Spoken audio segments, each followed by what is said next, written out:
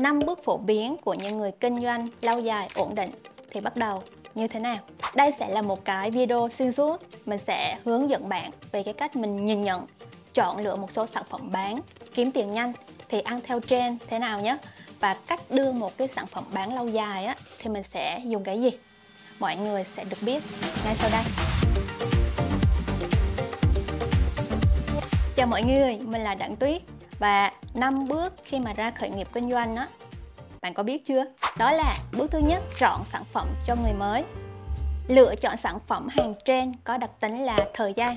Thì sao? Ít thì mình sẽ phải tranh thủ đẩy hàng nhanh nhất có thể trước khi mà cái thời gian trên nó trôi qua. Đẩy hàng thì mình nói sao? Mình đi tìm hàng trên trước đã ha. Đầu tiên, khéo làm thì no, khéo co thì ấm. Không có phải đạo lý gì đâu nha. Đây là cái câu nói của ông bà. Nếu mà đang tập làm vốn ít thì ta tạm bỏ qua những cái mặt hàng có quá nhiều biến thể, nhiều màu đi. Còn nếu mà hàng có nhiều chủng loại thì chỉ nên tập trung vào những cái mã hàng mà thị trường chuộng nhất thôi. Để mình ví dụ, hàng thời trang như là quần áo, giày dép này thì cái đặc điểm là có nhiều size, nhiều màu, nhiều mẫu. Thì lâu nay hai màu trắng đen á vẫn là hai cái màu chuộng nhất, dễ phối đồ, dễ mặc. Thì khi mà làm thời trang á, mới đầu thì chỉ nên đi vào hai cái màu đó thôi. Còn nếu mà không ân nữa thì bật Photoshop lên. Tự thiết kế như mình. Thiết kế xong thì chạy quảng cáo test test mà thấy ok á, thì bán. Tí nữa thì mình sẽ hướng dẫn chạy quảng cáo. Cứ thiết kế đã ha. Ví dụ mùa hè thì mình chạy áo du lịch đi biển. Thì thiết kế áo dễ lắm các bạn. Bạn nào mà từng làm BOD á thì biết áo đi biển thì có chủ đề Hawaii này. Thì mình sẽ chọn những cái họa tiết như thế này. Mình lắp vào tương tự thì làm áo Tết áo sự kiện nó cũng như vậy các bạn. Xong thì mình lưu lại. Thế là mình đã có một mẫu. Bạn có thể thiết kế ở trên hai màu trắng và đen. Đây là mình ví dụ hàng thời trang thôi nhé. Các sản phẩm khác thì nó tương tự. Cho dù là hàng thời trang quần áo hay là giày dép hoặc bất cứ ngành nghề nào á mình cũng thường tập trung chỉ test một mẫu. Mẫu nào thấy ổn á, thì mình sẽ dồn toàn bộ cái sức lực chỉ đẩy mỗi cái mẫu đó thôi. Là ăn tiền hoặc là tìm hàng trend là khi mà mình đi ra ngoài á giao hàng là trời nóng oai ả. Thế là mình nghĩ đến một số cái loại áo chống nắng. Rồi áo điều hòa. Xong là mình tìm được một số cái màu áo. Như thế này vẫn nhiều màu quá đúng không? Nhưng sau đó thì mình tìm được hai cái mẫu này. Mẫu nam nữ. Đẹp. Và quan trọng là vẫn theo cái nguyên tắc ban đầu của mình. Dù là thời trang hay là gì á, thì bạn cũng chỉ nên chọn test vài mẫu. Xong là nếu mà thấy khả quan á thì dập một mẫu hai mẫu thôi cho nó đỡ tồn. Ví dụ dự định bán áo điều hòa mùa hè thì bạn sẽ đặt hàng cho xưởng người ta làm trước từ mùa xuân. Cho nó rẻ, bạn hiểu thì like video cho mình nhé. Mình cũng đã nói kỹ về sản phẩm kinh doanh theo mùa ở hai cái video. Thì bạn vào bằng gõ chọn sản phẩm mùa vụ kinh doanh online và tìm xem cái video này và video này. Bạn xem kỹ lại mà làm nhé. Tí nữa, xem nốt cái chương trình này rồi á, mới ra tìm nha. Thì bây giờ mình sẽ chia sẻ một vài cái gợi ý về quảng cáo bán hàng như sau, nếu mà làm hàng dài ngày á, nghĩa là bán lâu dài, thì không cần tập trung vào quảng cáo, mà làm free traffic. Còn nếu mà làm hàng ngắn ngày, ăn theo trend, hết trend thì bỏ như các sản phẩm mùa vụ, thì trả tiền, chạy quảng cáo. Bước 2 là quảng cáo bán hàng. Đầu tiên là về content, những cái sản phẩm hot trend, ví dụ như là cái áo điều hòa. Theo mùa như này ở trên Facebook, thì mình sẽ viết ad chạy quảng cáo mọi người làm video thì có thể tự quay hoặc là edit lại video này làm ngắn lại khoảng 30 giây thôi để làm video chạy Facebook. Và cách chạy quảng cáo bán hàng thế nào cho nó hiệu quả thì bạn lưu ý là chạy quảng cáo Facebook thì mình sẽ chạy Facebook video reel. Làm reel thì giá nó rẻ và traffic nó mạnh hơn nhiều nên là mình ưu tiên chạy reel trước. Mình lại còn có thể tiện nuôi bay luôn. Như thế thì cũng là mình hướng đến cái lâu dài đấy. Khi dùng tiền chạy Facebook Reel á, thì đây bạn chỉ cần lưu ý vài chỗ này cho mình này. Đầu tiên là ở cái mục chiến dịch thì mình sẽ chọn cái mục tiêu là tương tác.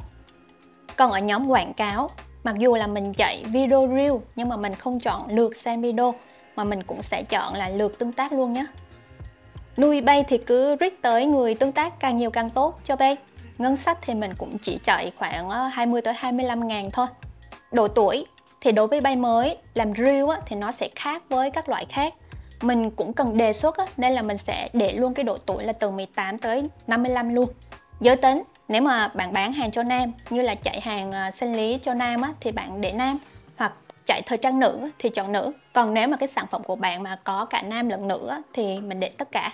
Làm sản phẩm cho nam hay là cho nữ thì chỉ có bạn mới biết chứ đúng không? Ngôn ngữ chạy ở thị trường Việt Nam thì mình sẽ chọn ngôn ngữ là tiếng Việt. Bạn lưu ý thêm cho mình hai cái chỗ này đó là chọn lại vị trí và chọn thủ công. Thiết bị hiển thị thì Reel sẽ hiển thị tốt ở trên di động nên là mình sẽ tắt vị trí là máy tính đi. Chỉ để mỗi thiết bị là di động thôi. Vị trí quảng cáo thì sao? Chạy định dạng video reel nên là mình sẽ tắt hết cái bản tin đi. Chỉ để mỗi cái tab là reel. Đó chạy reel và xây kênh facebook á, thì mình chỉ target có vậy thôi còn những cái thứ khác á, thì mọi người vẫn cài bình thường như lâu nay thôi. Chú ý là làm video reel á, thì mọi người còn phải kêu gọi xem thêm trong phần bình luận nha. Để làm chi? Để sau đó ta gắn link seeding bán hàng vào cái phần bình luận á. Comment gắn link làm sao để cho Facebook nó không bóp và bán được hàng. Thì mình sang bước thứ ba bước 3 là đi link bán hàng. Khi có đề xuất, video reel của bạn có người xem rồi, có traffic rồi, thì đăng link bán hàng thế nào để hiệu quả và không bị bóp hiển thị. Cách làm là, đối với nền tảng Facebook, khi mà mọi người kéo khách hàng vào sàn Shopee, kéo vào website, mọi người nhớ là không đăng link trực tiếp lên bài. Như thế này nhé mọi người sẽ bị bot hiển thị rất là nhiều và nó không hiệu quả. Hmm. thế thì đăng ở đâu? Thì mình sẽ chỉ cho mọi người đó là đăng lên ở mục comment seeding nhưng mà không phải là cứ thả link xuống comment là xong nha. Mà bạn phải comment bằng cái nick via và comment cái link bán hàng.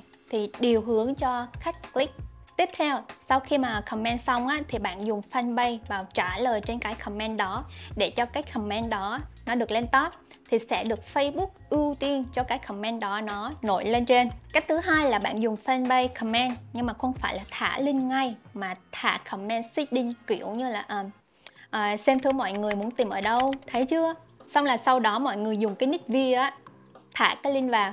Nhưng có một lưu ý mình dặn thêm tức là khi mà bạn dùng nick via đi seeding á, đi thả link á, thì chính cái nick via đó không được có liên quan gì tới cái hệ thống fanpage hay là facebook mà bạn đang dùng. Không là nó bóp hiển thị. Bóp hiển thị thì mất tương tác đó. Cái nick via đó không được làm quản trị viên, không được xét quyền biên tập viên hay là bất kể cái quyền gì luôn. Trên Facebook, mọi người thường hay đọc comment, bàn tán, nên là mình sẽ đi seeding rồi dán link ở cái mục comment vào ai mà làm Shopee á, thì cứ thả lên affiliate cả vào. Khách họ không mua của mình mà mua của người khác á, thì ít nhất mình cũng được ly trà đá. Bước thứ tư đó là giải quyết hàng tồn như thế nào. Hàng trend mà bạn đẩy chưa hết mà còn tồn lại á thì lại đưa qua live tiktok xả giá rẻ. Giống như là bán ở chợ cũng thế. Có bạn nào đã từng buôn bán gì ở chợ Tân Bình chưa?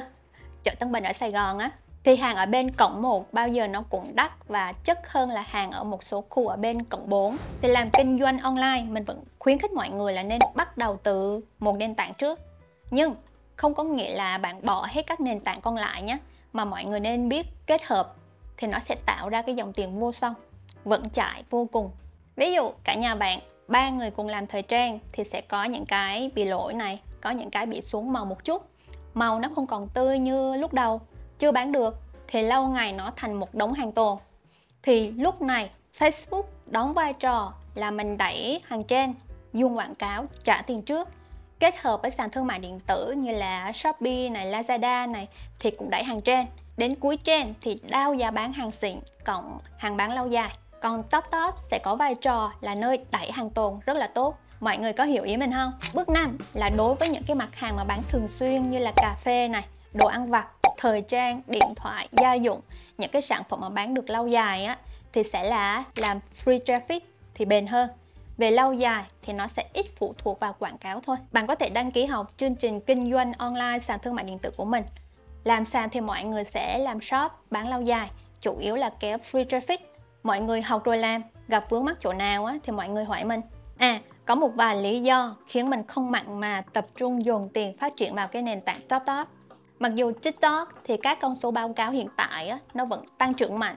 TikTok vẫn ưu tiên hướng những cái nội dung và bán hàng luôn ở trên TikTok. Khách chỉ cần ấn nút là nhảy mua hàng luôn. Nên đây nó không còn thân thiện khi làm nội dung khi nói về Facebook Shopee. TikTok nó còn phải cạnh tranh thị phần với cả Facebook và YouTube. Cạnh tranh khốc liệt cái mạng sáng tạo nội dung cái video ngắn đó là Reel và Short. Với lại thì đây lại là một cái nền tảng mà luôn bị quốc tế và thậm chí là ở Việt Nam, đưa vào cái diện theo dõi vì dữ liệu và nội dung không an toàn. Nên là vuốt mặt thì phải nệ mũi, thì chính sách TikTok sẽ phải điều chỉnh thường xuyên theo cái hướng càng ngày càng thắt chặt hơn. Điều này thì sẽ khiến cho cái nền tảng nó bất ổn định. Mình làm sao mà hở cả là nó báo mình vi phạm suốt.